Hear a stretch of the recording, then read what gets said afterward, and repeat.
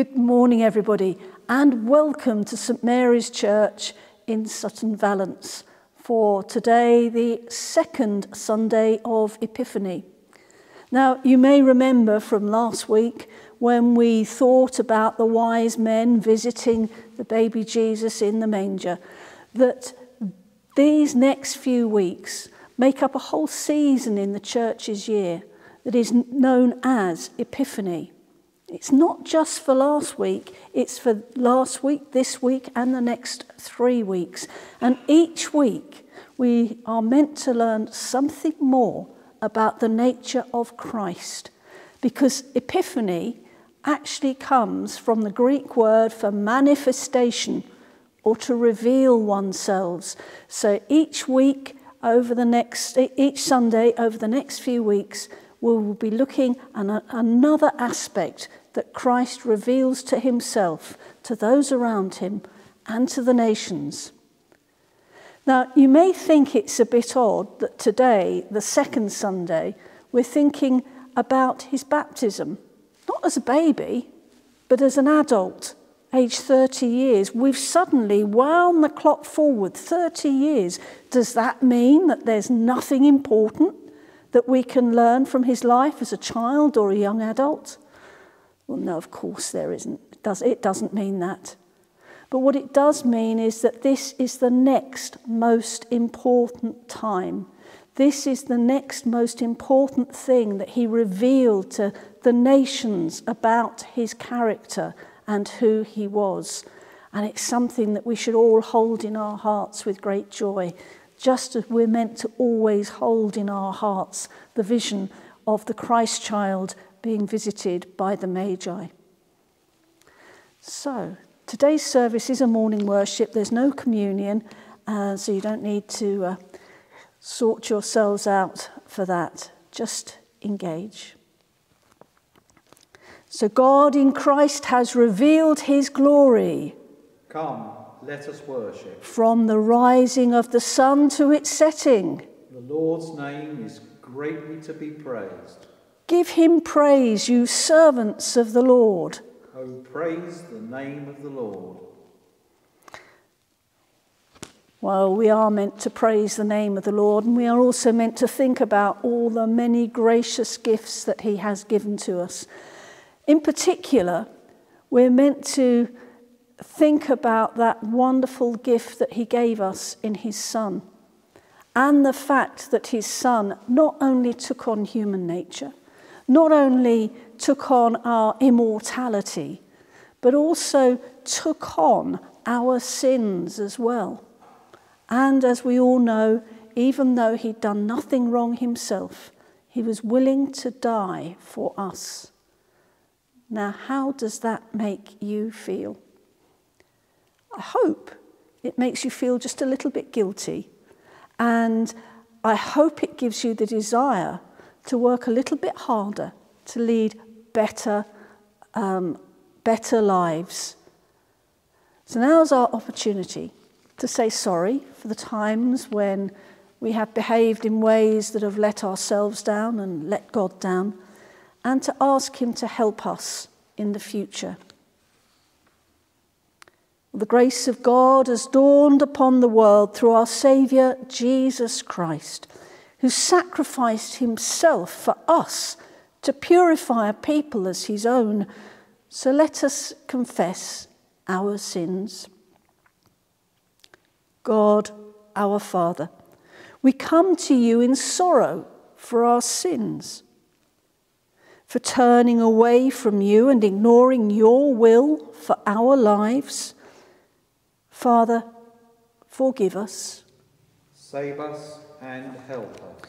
For behaving just as we wish without thinking of you. Father, forgive us. Save us and help us. For failing you by what we do and think and say. Father, forgive us. Save us and help us for letting ourselves be drawn away from you by temptations in the world about us. Father, forgive us Save us and help us. for living as if we were ashamed to belong to your Son. Father, forgive us. Save us and help us. And the God of all healing and forgiveness draw you to himself and cleanse you from all your sins, that we may behold the glory of your Son, the Word made flesh, Jesus Christ our Lord. Amen. Amen. We will now have our Bible reading. Well, our reading this morning is from the Gospel according to St Mark, chapter 1, beginning at verse 11, uh, verse 4, and it is the baptism of Christ. And so, John the Baptist appeared in the wilderness, preaching a baptism of repentance for the forgiveness of sins. The whole Judean countryside and all the people of Jerusalem went out to him, confessing their sins. They were baptized by him in the Jordan River. John wore clothing made of camel's hair with a leather belt around his waist, and he ate locusts and honey. And this was his message After me comes the one more powerful than I, the straps of whose sandals I am not worthy to stand down and untie. I baptize you with water, but he will baptize with the Holy Spirit. At that time, Jesus came from Nazareth in Galilee and was baptized by John in the Jordan. Just as Jesus was coming up out of the water, he saw heaven being torn open and the Spirit descending on him like a dove. And a voice came from heaven You are my Son, whom I love. With you I am well pleased. This is the word of the Lord. Thanks be to God. Heavenly Father, I pray that you will use the words of my lips to breathe your perfect message into the hearts and minds of all those who hear me. Through Jesus Christ our Lord. Amen. Well, won't be at all surprised if you are sitting at home thinking to yourselves, haven't we had that reading before quite recently? Well, if you are, you'd be dead right, because it's only just a few weeks ago that we had it for our reading for the second Sunday of Advent. So it's about a month ago. And, but then we were looking at it um, from the point of view of John the Baptist. Here's the person we were focusing on. Today, however, we are in the season of Epiphany. It is the time when we are meant to be looking to see how Christ revealed himself to all people as being the Son of God and everything that goes with it. So today, we're meant to almost ignore John the Baptist and focus on Christ. Now, the first thing to say about this reading is the fact that it did take place when Christ was 30 years old. But it forms a watershed moment in every sense of the word in his life. Because this was the moment that he stepped out of his life as a humble carpenter, living a relatively safe, comfortable, and secure life, surrounded by loved ones. And he stepped out of that into a life where he knew that he was going to be met with opposition, with fear, with antagonism, and ultimately with people reacting in such a way that he would die. This moment really shows the courage that Christ had. Now, if you will remember from when we looked at this reading in Advent, John the Baptist preached a, bapti- a, preached a baptism for the forgiveness of sins. He asked everyone to pre- prepare themselves to receive the King, the Messiah, Christ. And he said the way to do that was to release yourself from all your sins. This baptism was a way of cleansing people from that. And Christ now comes along and he asks for this baptism, even though he has done absolutely nothing wrong.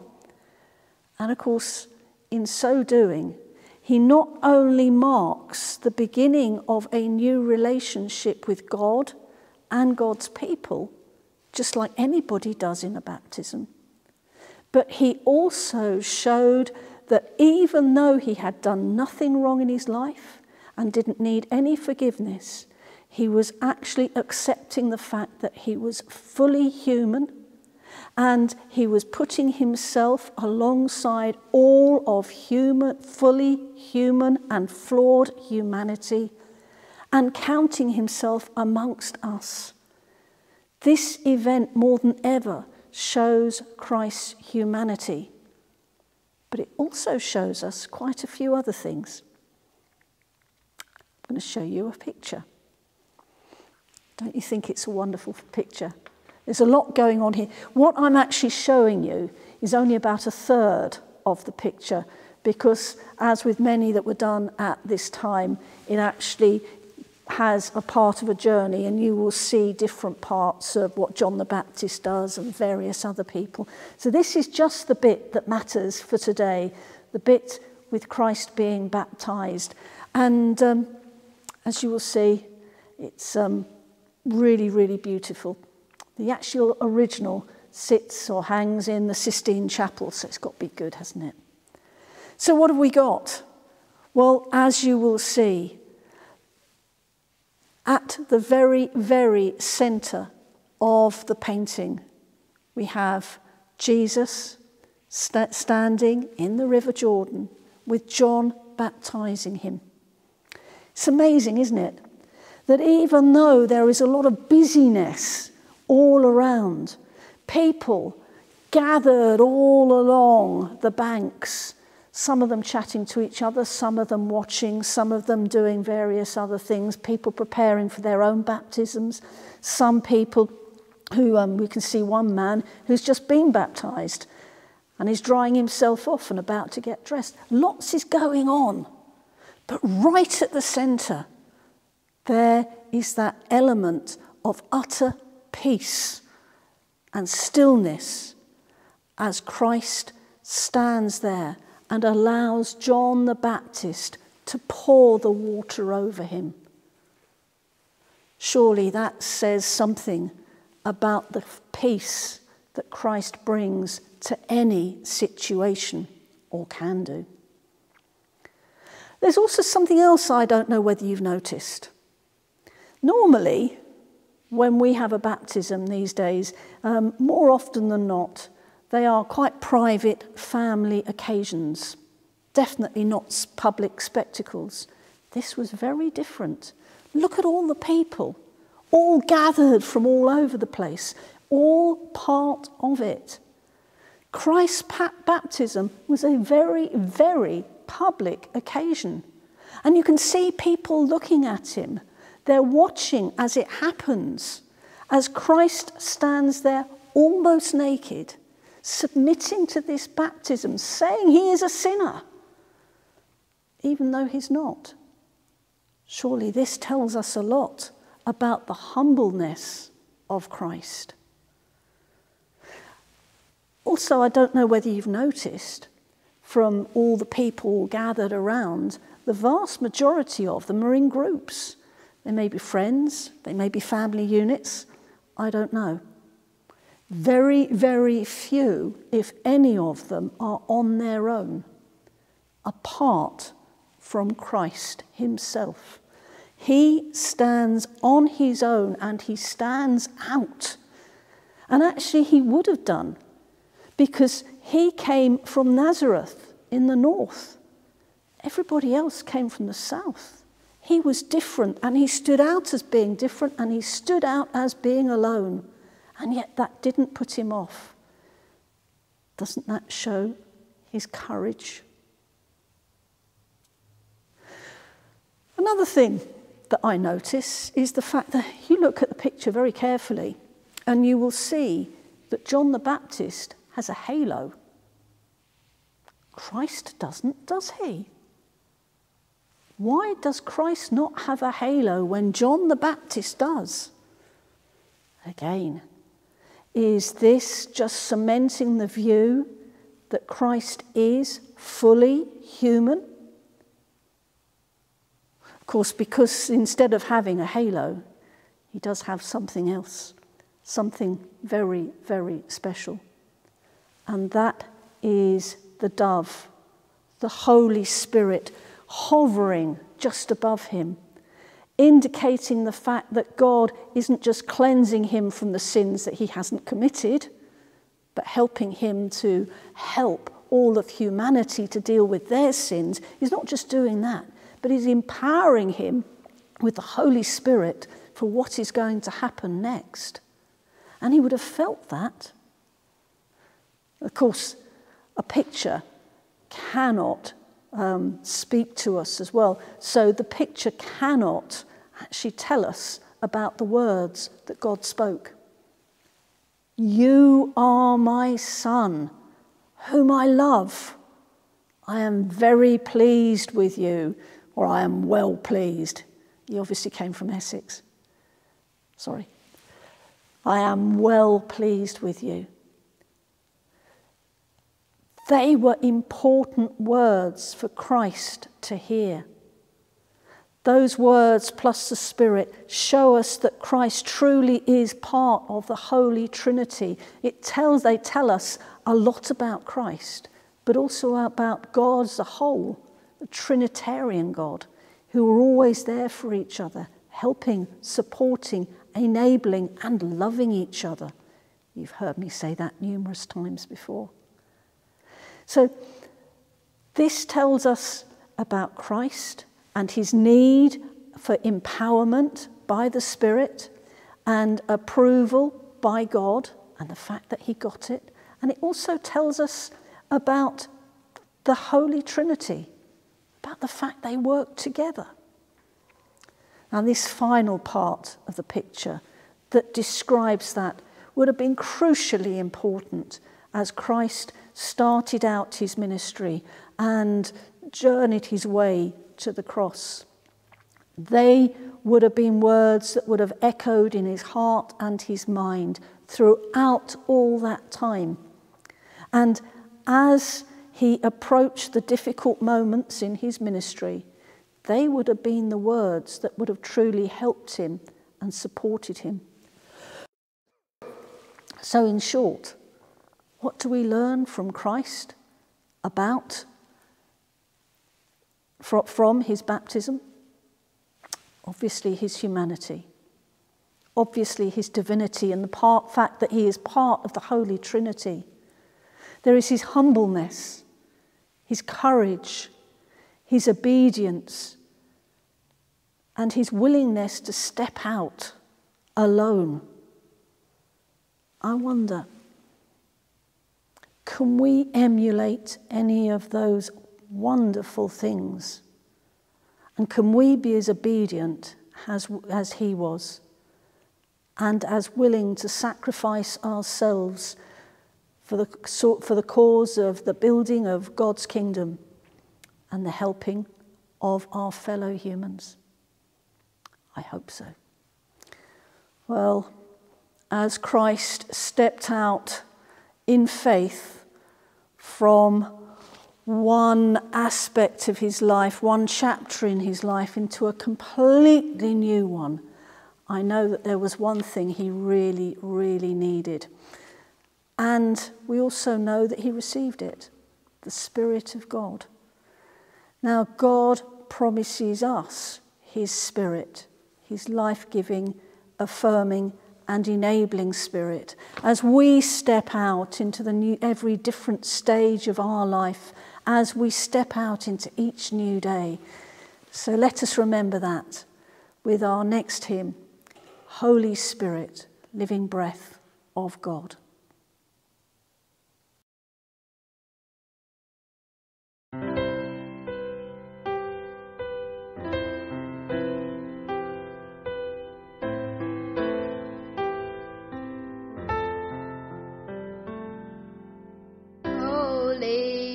Spirit, living breath of God, breathe new life into my willing soul. Bring the presence of the risen Lord to renew my heart and make me whole. Cause your word to come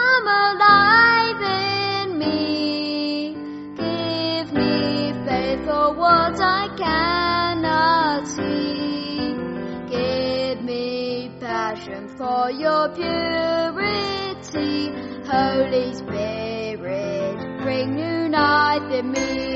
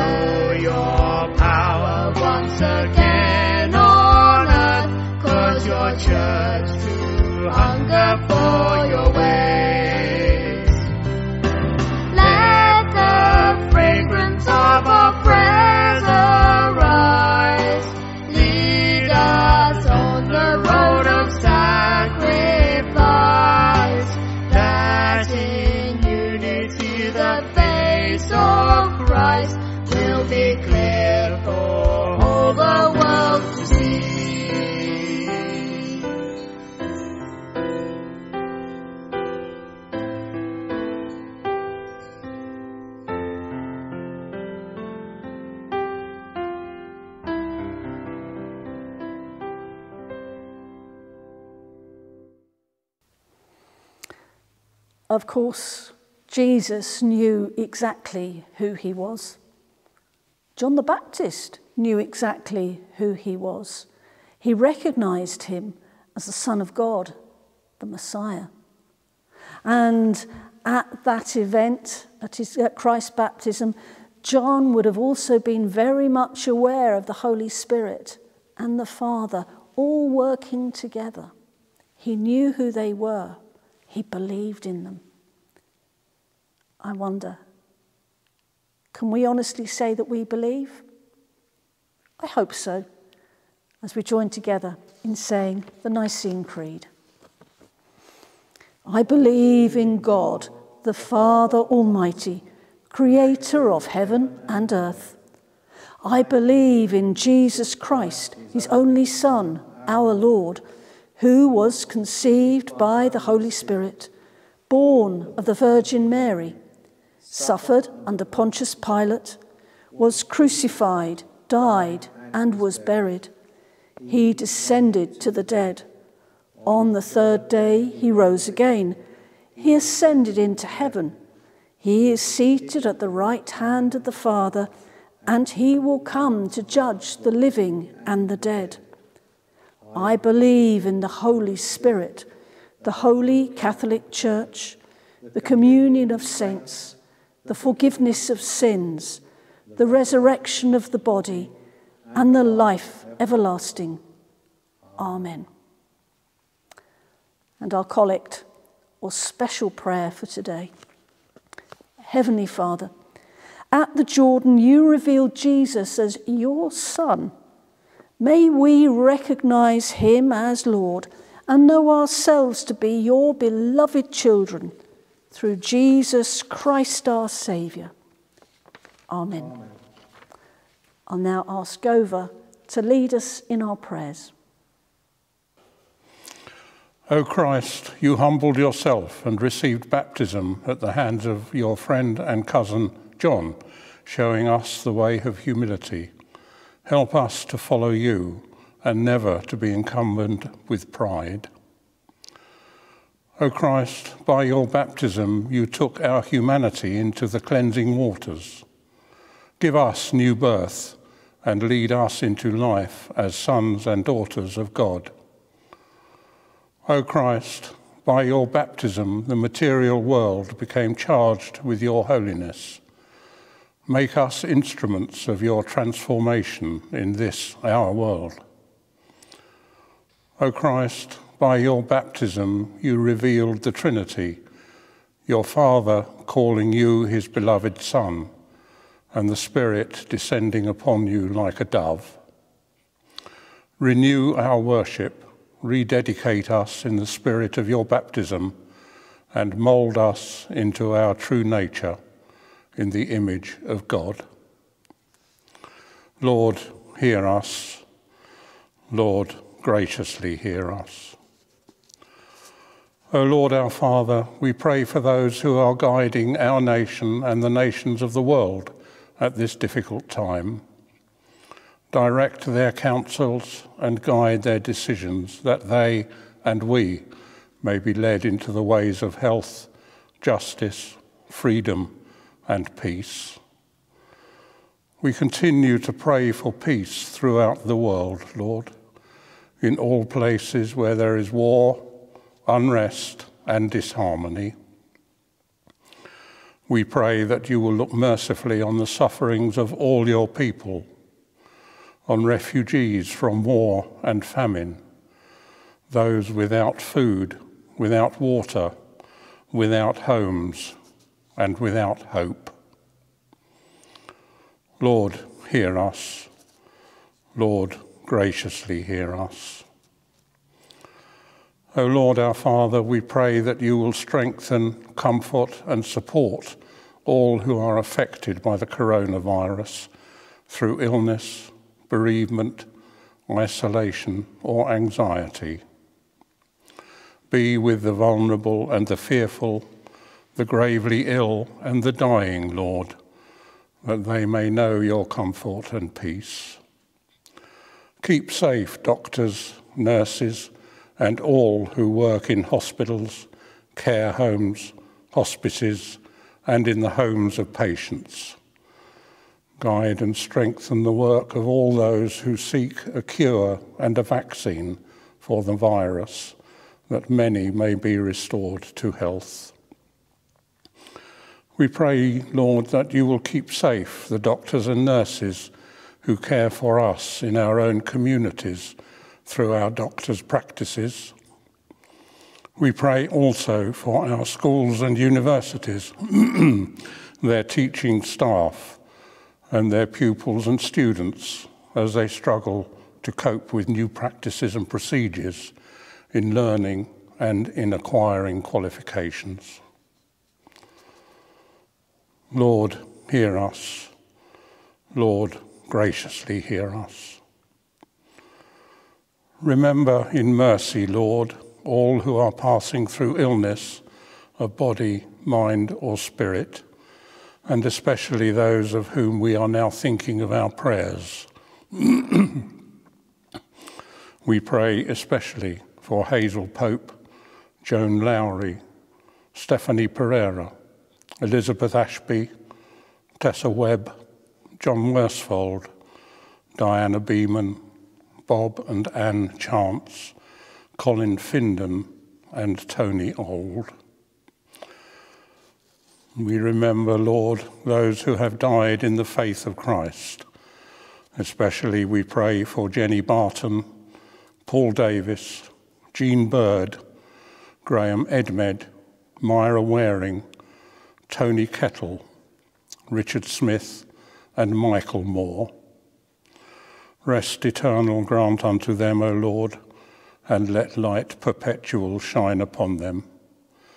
May they rest in peace and rise in glory. Lord, hear us. Lord, graciously hear us.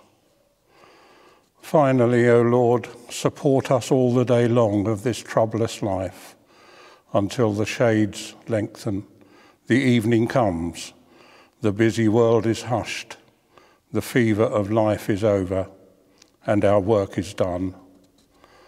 Then, Lord, in your mercy, grant us safe lodging, a holy rest, and peace at the last. Through Jesus Christ our Lord. Amen. Merciful Father, accept these prayers for the sake of your Son, our Saviour, Jesus Christ. Amen. And so let us bring all our prayers together in the words that Jesus himself taught us.